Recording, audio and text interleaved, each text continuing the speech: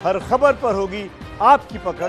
Download कीजिए ABP live app देखिए जिस तरीके से कोरोना के खिलाफ युद्ध में देश कमज़ोर होता हुआ नज़र आ रहा है क्योंकि जगह जगह कोरोना के खिलाफ युद्ध लड़ रहे योद्धाओं पर हमले हुए हैं। प्रधानमंत्री नरेंद्र मोदी की बड़ी अपील।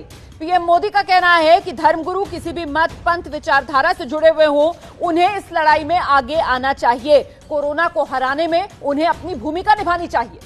हमारी आस्था हमारी परंपरा, हमारे विश्वास, हमारी विचारधारा, इन सभी पर हमला बोला है। इसलिए हमें अपनी आस्था, हमारे पंथ, हमारी विचारधारा को बचाने के लिए सबसे पहले कोरोना वायरस को परास्त करना पड़ेगा।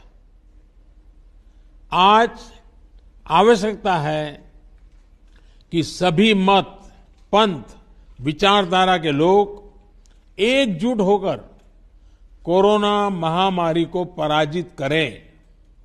मेरा आग्रह है कि राज्य स्तर पर आप समाज के गणमान्य व्यक्तियों, सभी संप्रदायों के धर्मगुरुओं, उनकी मीटिंग बुलाकर उनसे आग्रह करें कि वो अपने अपने अनुयायियों को, अपने मतपथ के लोगों को, अपनी विचारधारा के लोगों को इस लड़ाई में भागीदार बनने के लिए, सहयोग करने के लिए समझाएँ, उसका नेतृत्व करें।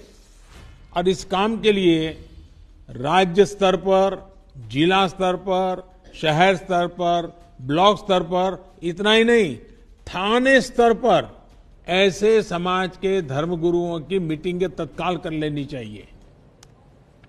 तो हर नागरिक को एक सैनिक के तौर पर अपनी ज़िम्मेदारी निभानी होगी। धर्मगुरु किसी भी मत पंथ विचारधारा का हो वो आगे आए अपने अनुयायियों को समझाए कि कोरोना के खिलाफ लड़ाई में हिस्सेदारी निभाओ।